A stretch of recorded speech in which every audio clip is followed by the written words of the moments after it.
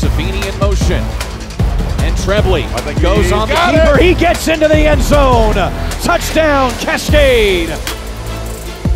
Mullen fires towards the middle he into the it. end zone. Standing that? up is Wyatt Schweitzer. Fourth and nine play, South Punt. Mullen looking to the end zone. Fires over the middle. Schweitzer Got it. catches it. Got it. Touchdown, Eagles. Oh my, what a pitch and catch.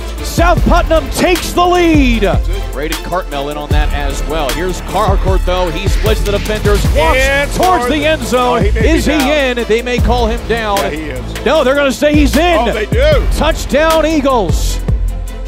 Trebley looking. Hit from the outside. He's it. Goes to the end zone. Toby Savini.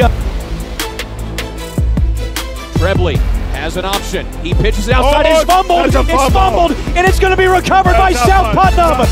And that would be the game.